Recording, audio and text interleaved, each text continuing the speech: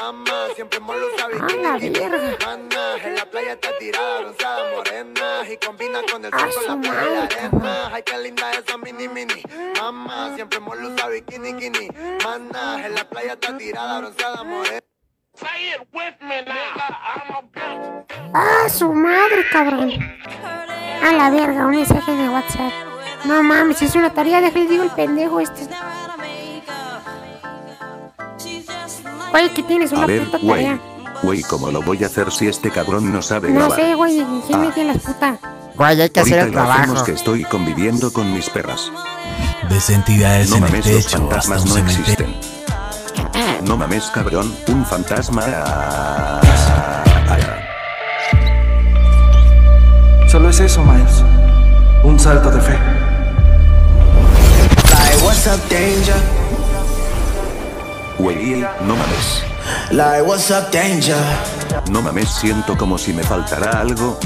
Güey, y mi puto riñón. Ahora sí, güey, a chambear. El relato es.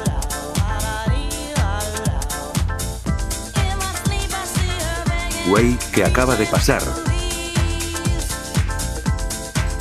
Es muy gracioso, ¿verdad? Voy a matarte con tu puta madre. A la verga.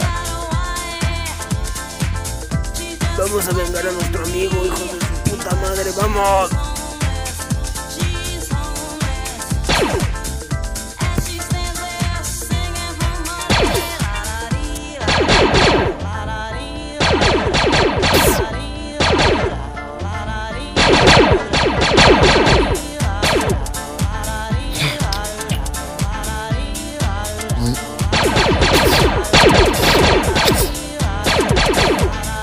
Todo, equipo, ¿qué acaba de pasar? Un relato es la narración estructurada de un hecho, real o imaginario, que se hace a través del lenguaje oral o escrito. Dicho de otra forma, un relato es el recuento, generalmente breve, de una serie de eventos ocurridos en la realidad o en la imaginación. Un relato puede hacerse con fines diversos, como entretener a quien lo escucha o lo lee, ponerlo al tanto de lo ocurrido en alguna situación, o reinterpretar eventos ya conocidos y narrarlos desde otro punto de vista. De cualquier manera, el relato se logra a través del encadenamiento cohesionado y coherente de los eventos que componen la anécdota a contar, atribuyéndole un sentido global y embelleciéndolo con recursos poéticos y estilísticos como la metáfora, la hipérbole, la personificación, entre otros. Casa tomada, Julio Cortázar No podemos empezar hablando de ejemplos de relatos cortos sin mencionar a Julio Cortázar.